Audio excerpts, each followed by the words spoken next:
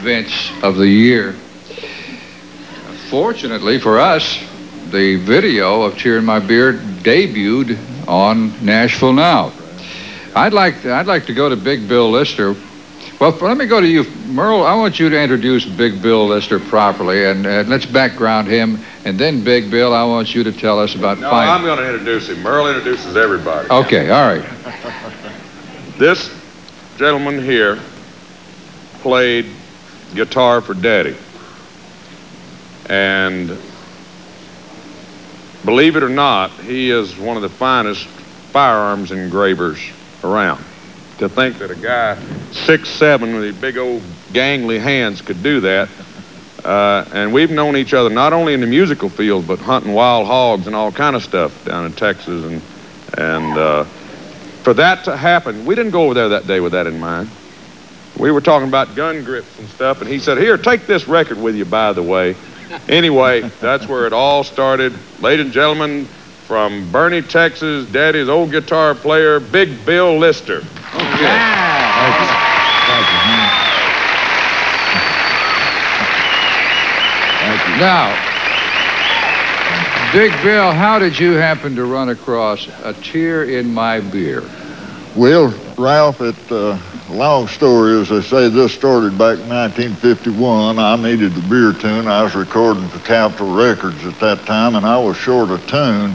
We were in off the road. I'd been uh, frontman for Hank Williams on the road out of the Grand Ole Opry. And we were in uh, in late October of 1951. Hank had a session one night for MGM. I had a session the next night for Capitol. And uh, I told Hank the night I was down in Kibitz and the boys at the studio that night, the old Castle Studios here in town. And I told Hank, I'm really hurting, buddy. I need a song, a beer drinking song. And he said, don't worry about it. I'll fix you up with one that'll cock their pistol. And I assume I left. I left early that night, and I assume that after they got through with the session, Hank cut this demo. You re- remember in 1951, we didn't have the convenience of tapes and cassettes and being easy to do it. But he recorded that apparently right there in Castle Studio. Got a demo. It, the demo. It's just him and his guitar. All right, now, did you, did, subsequently, did you record this for Capitol? Yes, uh, the next morning after Hank told me he'd get a tune, he brought me that demo. I learned it that morning, went in the studio that night and recorded it for Capitol. Hank and I felt like we had a real winner then.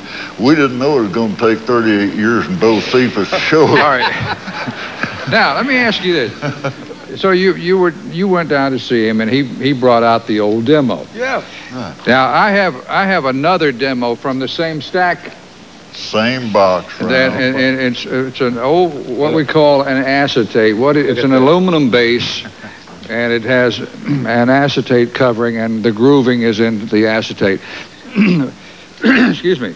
You live in Texas. It's hot in Texas. And everybody, everybody has asked me, how in the world, all those summers, did that acetate survive in the attic? I don't know. I'll tell you what, in July and August, you might near bake Indian bread in my attic down there.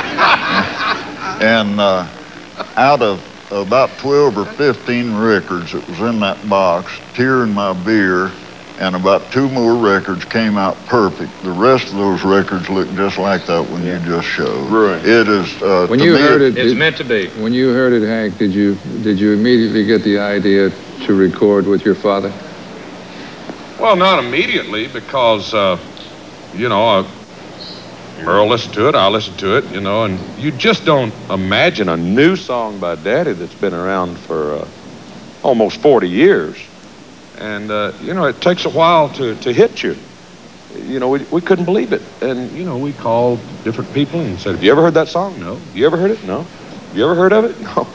So what we had was uh, an original song of Daddy's, an original Hank Williams song that had never been recorded except by Bill and his. Uh, you know, we, we didn't know about that either until Merle and Bill told me. So I, then I was ready. I said, this is something I've always wanted to do.